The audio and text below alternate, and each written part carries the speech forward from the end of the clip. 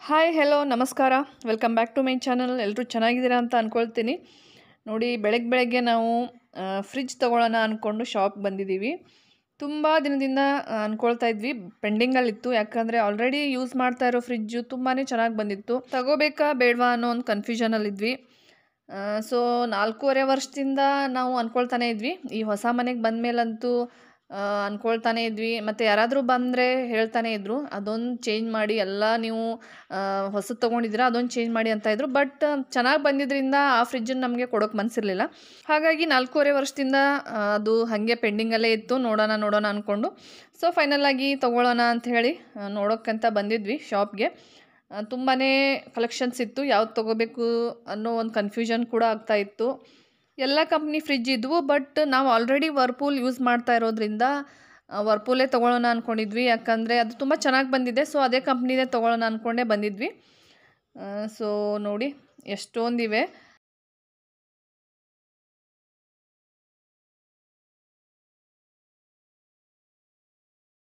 ನಾವು already use ಮಾಡ್ತಾ ಇರೋ ಸಿಂಗಲ್ ಡೋರ್ ಫ್ರಿಜ್ಜಲ್ಲಿ ಏನಾಗ್ತಾ ಇತ್ತಂದರೆ ಎಕ್ಸ್ಟ್ರಾ ತರಕಾರಿ ಆಗಲಿ ಎಕ್ಸ್ಟ್ರಾ ಏನಾದರೂ ಐಟಮ್ಸ್ ಇಡೋಣ ಅಂದರೆ ಪ್ಲೇಸ್ ಸಾಕಾಗ್ತಾ ಇರಲಿಲ್ಲ. ಸೊ ಅವಾಗ ಅವಾಗ ಅನ್ನಿಸ್ತಾ ಇತ್ತು, ದೊಡ್ಡ ಸೈಜ್ದೇ ತೊಗೊಳ್ಳೋಣ ಡಬಲ್ ಡೋರ್ದು ಅಂತ ಹೇಳಿ. ಸೊ ಇವತ್ತು ಕಾಲ ಕೂಡಿ ಬಂತು, ಯಾವುದು ಅಂತ ಈಗ ಸೆಲೆಕ್ಟ್ ಮಾಡ್ತಾ ಇದ್ವಿ. ಇದು ನಮ್ಮ ಮನೆಯವ್ರಿಗೆ ಗೊತ್ತಿರೋ ಶಾಪ್ ಆಗಿರೋದ್ರಿಂದ ಏನೇ ತೊಗೊಂಡ್ರು ಇಲ್ಲೇ ತೊಗೊಂಡಿರ್ತೀವಿ.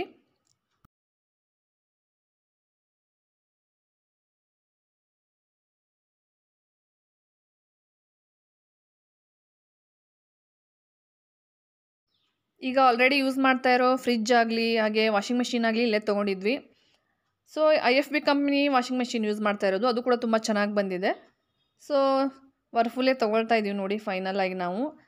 ಯಾವುದು ಫೈನಲ್ ಆಯಿತು, ಯಾವ್ದು ತೊಗೊಂಡ್ವಿ ಅಂತ ನಾನು ಆಮೇಲೆ ಹೇಳ್ತೀನಿ ಮನೆಗೆ ಹೋದ್ಮೇಲೆ.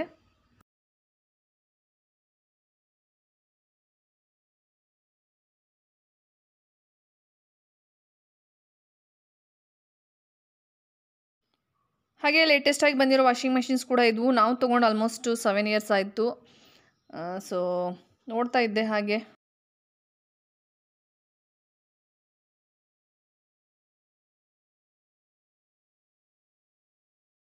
ಗುಡ್ ಈವ್ನಿಂಗ್ ಎಲ್ರಿಗೂ. ಈಗ ಸಂಜೆ ಐದು ಗಂಟೆ. ನೋಡ್ರಿ ಈಗ ಸಣ್ಣ ಪುಟ್ಟ ಕೆಲಸ ಇರ್ತಾವೆ ನಾನು ಮಧ್ಯಾಹ್ನ ಟೈಮ್ ಏನಾದರೂ ರಿಪೇರಿ ಕೆಲಸ ಕ್ಲೀನಿಂಗ್ ಕೆಲಸ ಆ ಥರ.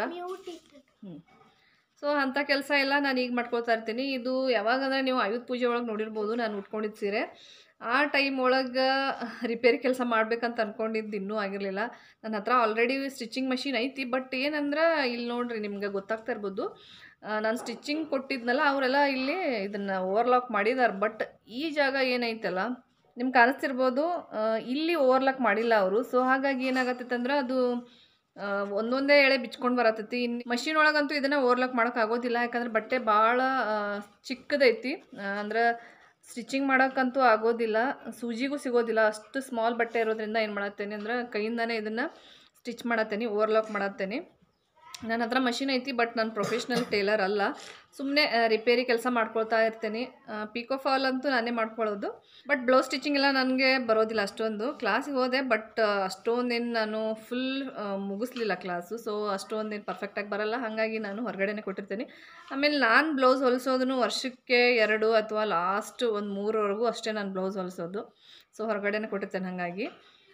ಇದನ್ನು ಒಂದು ಸೈಡ್ ನಾನು ಮಾಡಿಟ್ಟಿದ್ನಿ ಬಟ್ ಇನ್ನೊಂದು ಸೈಡ್ ನನಗೆ ಮಾಡೋಕ್ಕಾಗಿರಲಿಲ್ಲ ಹಾಗೆ ಈಗ ಮಧ್ಯಾಹ್ನ ನೆನಪಾಯಿತು, ಹಾಗೆ ಬಿಟ್ಕೊಂಡು ಬಿಟ್ಕೊಂಡು ಹಂಗೇ ಬಿಟ್ಟಿತ್ತು ಅದಲ್ಲೇ. ನಾಳೆ ಮಾಡಿದರೆ ಆಯಿತು ಆಯಿತು ಅಂದ್ಕೊಂಡು ಸೊ ಮುಗಿಸೇ ಬಿಡೋಣ ಅಂದ್ಕೊಂಡು ಈಗ ಇದನ್ನು ಹಿಡ್ಕೊಂಡು ಕೂತ್ಕೊಂಡೇನಿ.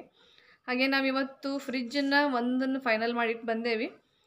ನೋಡೋಣ ನಾಳೆ ನಾನು ನಿಮಗೆ ವ್ಲಾಗಲ್ಲಿ ತೋರಿಸ್ತೇನೆ ಯಾವುದಂತ ಹೇಳಿ ಈಗ ಆಲ್ರೆಡಿ ನಮ್ಮ ಹತ್ರ ಫ್ರಿಜ್ ಇದೆ ಬಟ್ ಏನಂದ್ರೆ ಅದು ಆಲ್ಮೋಸ್ಟ್ ಹನ್ನೆರಡು ವರ್ಷ ಆಯಿತು. ಏನೂ ರಿಪೇರಿ ಕೂಡ ಬಂದಿರಲಿಲ್ಲ. ವರ್ಪೂಲ್ ಕಂಪ್ನಿದ್ದು ಬಟ್ ಏನಂದರೆ ಸ್ವಲ್ಪ ದೊಡ್ಡ ಸೈಜ್ ಬೇಕನ್ನೋ ಒಂದೇ ರೀಸನ್ಗೆ ಚೇಂಜ್ ಮಾಡತ್ತೇವೆ. ಇದನ್ನು ಈ ಫ್ರಿಜ್ ಏನು ಮಾಡೋದು ಅಂತ ಇನ್ನೂ ಡಿಸೈಡ್ ಮಾಡಿಲ್ಲ. ಎಕ್ಸ್ಚೇಂಜ್ ಒಳಗೆ ಕೊಡೋಕೆ ಹೋದ್ರೆ ಸ್ವಲ್ಪ ಕಮ್ಮಿ ಆಗ್ತೈತೆ ಅಂತ ಹೇಳಿ. ಕೆಲವೊಬ್ರು ಆಲ್ರೆಡಿ ಹೇಳಿ ಇಟ್ಟಿದ್ರು ನಾವು ಫ್ರಿಜ್ ತೊಗೋತೀವಿ ಅಂತ ಹೇಳಿ, ನಮಗೆ ಕೊಡಿ ಅಂಥೇಳಿ ನೋಡ್ಬೇಕು ಯಾರು ತೊಗೋತಾರೆ ಅಂಥೇಳಿ ಜೊತೆಗೆ ಮಧ್ಯಾಹ್ನ ನನಗೆ ಮಲ್ಕೊಳ್ಳೋಕ್ಕೊಂದು ಆಗಲ್ಲ. ನಿದ್ದೆ ಸರಿಯಾಗಿ ಬರೋದಿಲ್ಲ. ಏನಾದರೂ ಹತ್ತು ನಿಮಿಷ ಮಲ್ಕೊಳ್ಳೋಣ ಅಂತ ಮಲ್ಕೊಂಡ್ರು ಚಿಕ್ಕವನು ಬಂದು ಎಬ್ಬಿಸ್ಬಿಡ್ತಾನೆ ಸೊ ಅದು ಡಿಸ್ಟರ್ಬ್ ಆಗುತ್ತೆ, ನಿದ್ದೆನೂ ಆಗಲ್ಲ. ಸೊ ಅಭ್ಯಾಸನೂ ಇಲ್ಲ. ಅವನೇನಾದರೂ ಸ್ಕೂಲಿಗೆ ಹೋಗಿದ್ರೆ ಫುಲ್ ಡೇ ಏನಾದರೂ ಒಂಚೂರು ಮಲ್ಕೊಳ್ತಿದ್ದೋ ಏನೋ. ಅವ್ನ ಮನೇಲಿರೋದ್ರಿಂದ ಮಲ್ಕೊಳಕ್ಕೆ ಬಿಡಲ್ಲ, ಹಾಗಾಗಿ ಅಭ್ಯಾಸನೇ ಇಲ್ಲ ಅದು. ಈ ಥರ ಸಣ್ಣ ಪುಟ್ಟ ಏನಾದರೂ ಕೆಲಸ ಇದ್ದೇ ಇರುತ್ತೆ, ಮಾಡ್ಕೊಂಡು ಕೂತ್ಕೊಂಡಿರ್ತೀನಿ ಮಧ್ಯಾಹ್ನ ಟೈಮು ಹಾಗೆ ಹಸ್ಬೆಂಡ್ ಮಧ್ಯಾಹ್ನ ಎರಡೂವರೆಗೆ ಡ್ಯೂಟಿಗೆ ಹೋಗ್ತಾರಲ್ಲ, ಅಲ್ಲಿವರೆಗೂ ನನ್ನ ಕೆಲಸ ಅಂತೂ ಇದ್ದೇ ಇರುತ್ತೆ, ನಾನು ಫ್ರೀ ಅಂತೂ ಆಗೋದೇ ಇಲ್ಲ. ಅದಾದಮೇಲೆ ಎರಡೂವರೆಯಿಂದ ಒಂದು ಫೈವ್ವರೆಗೂ ಫ್ರೀ ಇರ್ತೀನಿ. ಫೈವ್ ತರ್ಟಿ ಆ ಥರ ವಾಕ್ ಹೋಗಿರ್ತೀನಿ ನಾನು. ಮಧ್ಯ ಇರೋ ಟೈಮಲ್ಲಿ ಏನಾದರೂ ಸಣ್ಣ ಪುಟ್ಟ ಕೆಲಸ ಅಥವಾ ಕ್ಲೀನಿಂಗು ಅಥವಾ ಮೇನ್ ಏನಂದರೆ ಬಟ್ಟೆ ಜೋಡಿಸೋದಿರುತ್ತೆ. ಕಬೋರ್ಡ್ ಕ್ಲೀನಿಂಗು, ಬಟ್ಟೆ ಜೋಡಿಸೋದು ಆ ಥರ ಮಾಡ್ಕೊಳ್ತಾ ಇರ್ತೀನಿ ಮಧ್ಯಾಹ್ನ ಟೈಮು. ಹಾಗೆ ಇವತ್ತು ದೇವಸ್ಥಾನಕ್ಕೆ ಹೋಗ್ಬೇಕಂತ ಅಂದ್ಕೊಂಡಿದ್ದೀನಿ ಯಾಕಂದರೆ ತುಂಬ ದಿವಸ ಇತ್ತು ಹೋಗಿಲ್ಲ. ಧನುರ್ಮಾಸ ಇರೋದ್ರಿಂದ ಸ್ವಲ್ಪ ಹೋಗಿ ಬರಬೇಕು ಒಳ್ಳೆಯದು ಬೆಳಗ್ಗೆ ಬೆಳಗ್ಗೆ ಅಂತೂ ಆಗಲ್ಲ ನನಗೆ ಹೋಗೋಕ್ಕೆ ಬೆಳಗ್ಗೆ ಬೆಳಗ್ಗೆ ಯಾಕಂದರೆ ಯಾಕಂದರೆ ಧನುರ್ಮಾಸದಲ್ಲಿ ಬೆಳಗ್ಗೆ ಬೇಗನೆ ಪೂಜೆ ಆಗಿರುತ್ತೆ. ಸೊ, ಸಂಜೆ ಹೋಗಿ ಬರಬೇಕಂತ ಅಂದ್ಕೊಂಡಿದ್ದೀನಿ ದೇವಸ್ಥಾನಕ್ಕೆ. ಬ್ಲೌಸ್ದು ಕೆಲಸ ಆಯಿತು, ಇನ್ನೇನಿಲ್ಲ. ಸ್ವಲ್ಪ ಕಿಚನ್ ಕ್ಲೀನಿಂಗ್ ಮಾಡಿಕೊಂಡು ರೆಡಿಯಾಗಿ ದೇವಸ್ಥಾನಕ್ಕೆ ಹೋಗಬೇಕು.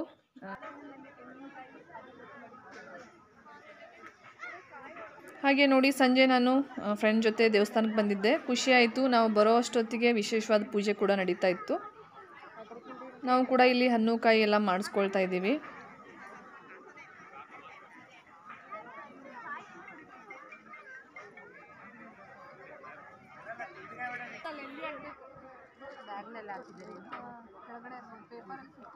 ಈ ದೇವಸ್ಥಾನ ನಮ್ಮ ಮನೆಗೆ ತುಂಬಾ ಹತ್ರ. ಆರಾಮಾಗಿ ನಡ್ಕೊಂಡು ಬರ್ಬೋದು. ಸೊ ಹಾಗಾಗಿ ನಾನು ಹೆಚ್ಚಾಗಿ ಇದೇ ದೇವಸ್ಥಾನಕ್ಕೆ ಬರೋದು.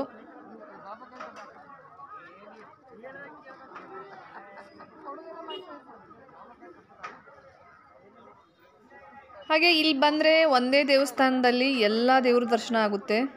ನಾನು ಆಲ್ರೆಡಿ ಲಾಸ್ಟ್ ವ್ಲಾಗಲ್ಲೆಲ್ಲ ತೋರಿಸಿದ್ದೀನಿ ಒಂದೆರಡು ಮೂರು ವ್ಲಾಗಲ್ಲಿ ಈ ದೇವಸ್ಥಾನದ್ದು. ಎಲ್ಲ ದೇವ್ರು ಇರೋದ್ರಿಂದ ಆರಾಮಾಗಿ ಶನಿವಾರ ಬರ್ಬೋದು. ಆಂಜನೇಯ ಸ್ವಾಮಿ ದೇವಸ್ಥಾನ ಇರೋದ್ರಿಂದ. ಹಾಗೆ ಗಣೇಶನ ದೇವಸ್ಥಾನ ಇದೆ, ಸುಬ್ರಹ್ಮಣ್ಯ ಸ್ವಾಮಿ ದೇವಸ್ಥಾನ ಇದೆ. ಹಾಗಾಗಿ ನಾನು ಯಾವಾಗಲಾದರೂ ನನಗೆ ಹೋಗಬೇಕು ಅನ್ನಿಸ್ತು. ಅಥವಾ ಮನಸ್ಸಿಗೇನೋ ಒಂಥರ ಬೇಜಾರಾದರೆ ಟೈಮ್ ಇದ್ದರೆ ಇಲ್ಲಿ ಬಂದು ಹೋಗಿರ್ತೀನಿ ನಾನು ದೇವಸ್ಥಾನಕ್ಕೆ ಯಾವಾಗಲೂ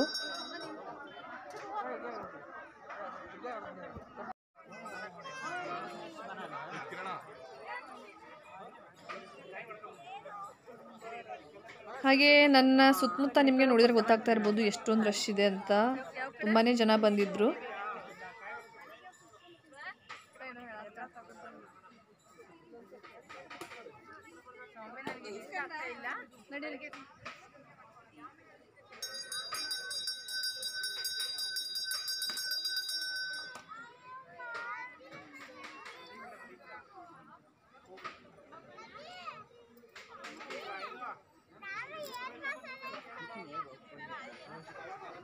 ಜೊತೆಗೆ ಪ್ರಸಾದ ಕೂಡ ಕೊಡ್ತಾ ಇದ್ರು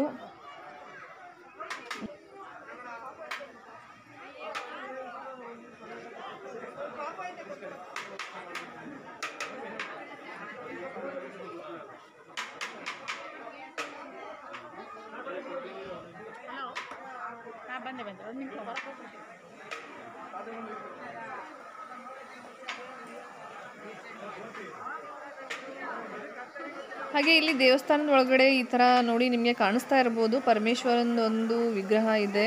ನೀರಲ್ಲಿ ಒಂಥರ ನೀರಲ್ಲೇ ಕೂತಿರೋ ಹಾಗೆ ಅನಿಸುತ್ತೆ. ನೀರು ಯಾವಾಗಲೂ ಹರಿತಾ ಇರುತ್ತೆ. ಇದನ್ನು ನೋಡಿದಾಗಂತೂ ತುಂಬ ಖುಷಿ ಅನಿಸುತ್ತೆ ನನಗೆ.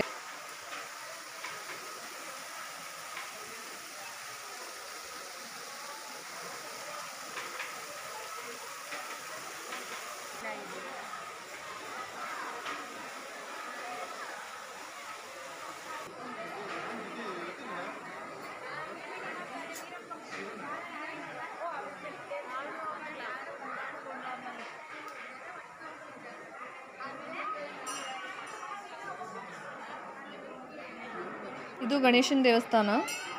ನಾನು ಲಾಸ್ಟ್ ಬ್ಲಾಗಲ್ಲಿ ಆಲ್ರೆಡಿ ಹೇಳಿದ್ದೀನಿ ಒಂದೆರಡು ಬ್ಲಾಗಲ್ಲಿ ಬಟ್ ಹೊಸದಾಗಿ ನೋಡ್ತಿರ್ತೀರ? ಹಾಗಾಗಿ ಇನ್ನೊಂದು ಸಾರಿ ನಾನು ಎಕ್ಸ್ಪ್ಲೇನ್ ಮಾಡಿ ಹೇಳ್ತಾ ಇದ್ದೀನಿ.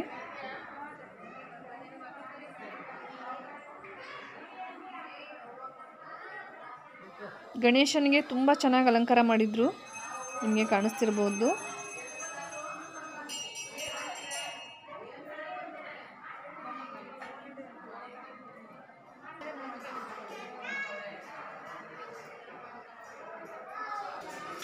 ಹಾಗೆ ಹೊರಗಡೆ ಕೋಲಾಟ ಕೂಡ ಆಡ್ತಾ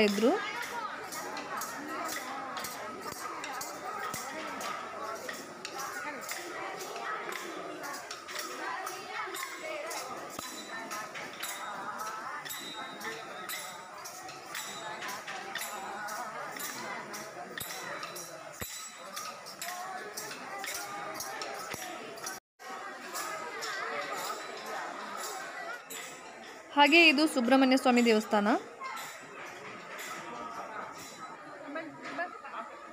ನೆಕ್ಸ್ಟ್ ಇದು ಆಂಜನೇಯ ಸ್ವಾಮಿ ಸನ್ನಿಧಿ.